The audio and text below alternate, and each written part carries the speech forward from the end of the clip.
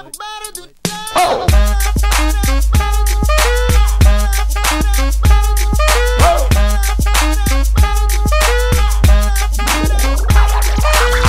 gonna pop some tags. Only got twenty dollars in my pocket.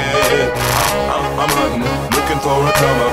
This is fucking awesome. I look incredible. Come on, come that thrift shop down the Let's road. come. I'm gonna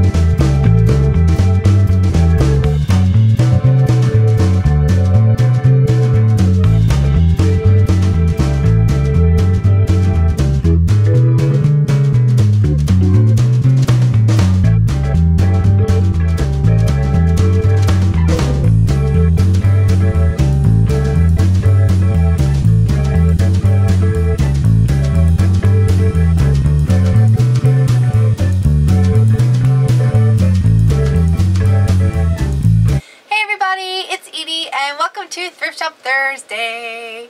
I'm so excited because the thrift store has started putting out Halloween stuff. So I'm already getting my paws on some really cool stuff. Uh, I got three things this week actually and I'm gonna definitely work on one for this week's coming Mix, Mix Mediology Monday. Uh, the other one is going to take a lot longer and I'll tell you why whenever I show it to you. But I am so excited about what I got this week. They had two of these side by side and I was only going to get one but then I was like you know what they're only a dollar and I like them so I'm going to get both of them. So what I got this week was the two big plastic pumpkins and they have the hole in it so you can put a light and there's also a hole up here. I guess for another light or whatever. so I got both of these. Oh, yeah.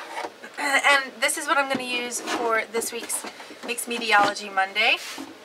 Um, this one, the face on this one is a little bit more faded than the other one, but it doesn't really matter because what I'm going to do to it is completely, ooh, I keep getting hit in the face. I'm going to completely redo it anyway. So I think I might leave these faces on there and work on the back side, but I haven't quite decided yet.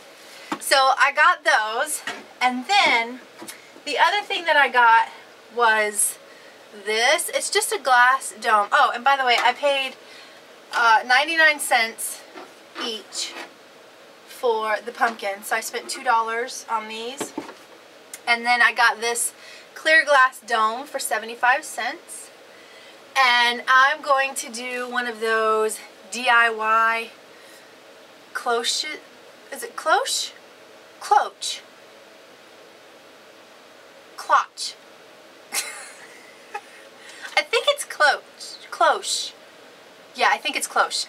Uh, you know, it's the little dome on top of a candle holder or something. Yeah, I'm going to do one of those with like some little scene up inside here like moss and maybe a skeleton or I, I don't know yet. But it was 75 cents and I've been wanting to do one of these but I haven't found a good dome to use. This one was just too perfect to pass up. So uh, I'll be looking for a candle holder that I can use on this or use this on, use for this. I'm going to look for a candle holder that I can make one of these with. And I may show that as a project in the future, but I'm not sure yet. This is definitely not going to be on Mixed Mediology Monday because I don't have a candle holder and I don't have uh, the stuff to put up inside of it yet. So, but I did want to show you that I got that because I'm really excited about it. So I think that's it for this week's Thrift Shop Thursday. I wanted to show you quickly the finished project for last week's Mixed Mediology Monday. You can watch the full video process of this sweater pumpkin being made and it's actually a mini class so it's not just the high-speed version of me making the project. I'm actually walking you through step by step how to do this, giving you extra little tips and suggestions and showing you exactly what to do. You can also ask me questions in the comment section below of any project that I do. Um, the end of the video is not the class portion though. The class portion is me showing you how to actually make the pumpkin. And then in the end of the video you see me just finish it up. So up here at the top, this is just raffia. And I wound it around part of the stem and then I dyed it using Distress Stain and I used Vintage Photo here. And then I also left part of the stem out because it just kept falling in this shape with the little fold here and it just kept looking like a leaf. So I assumed it wanted to be a leaf and I turned it into one. So I just left the little fold right there as it was, left that part out of the twine, and um, then I also dyed this with Distress Stain. I think it's peeled paint. I think that's the color that I used here. And then to get my raffia to curl, you see me like twirling it and then spritzing it with something, it's actually just hairspray. I sprayed it with hairspray and then hit it with the heat gun until it was nice and dry. I kept it closed with a bobby pin and then just kind of opened it up a little bit to get the twirly little spring effects here. So, if you like what I do here, please subscribe to my YouTube channel and you see that little share button down there? Click that and share this with all of your friends. You can also visit my blog, www.lifebytheseatofmypants.wordpress.com. All of the projects that you see on YouTube are also on my blog as well as additional blog posts. And you can also find me all over the web. I'm on Facebook, I'm on Pinterest, I'm on Twitter, I'm on Instagram. So look me up in those places, follow me, and I'll follow you back. I hope you enjoyed this week's Thrift Shop Thursday. Remember, you can always post questions in the comment section below. If you see something in the thrift store you'd like me to go back and find and work on, leave that in the comment section as well. And I love to hear what you have to say, so just leave me a little message and tell me how you liked it. All right, thanks so much for being here. I'll see you on Mixed Mediology Monday. Mwah. Bye!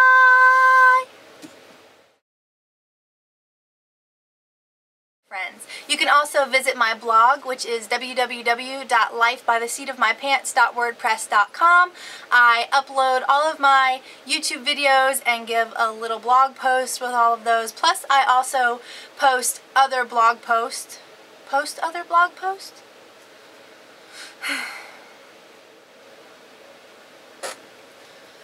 okay. oh, Lord, I didn't even put my bra on. Do you ever do that? Like, you want to feel pretty, so you put your hair, get your hair done, put your makeup on, but you're not really going anywhere, so why bother put a bra on? Okay, that's a blooper.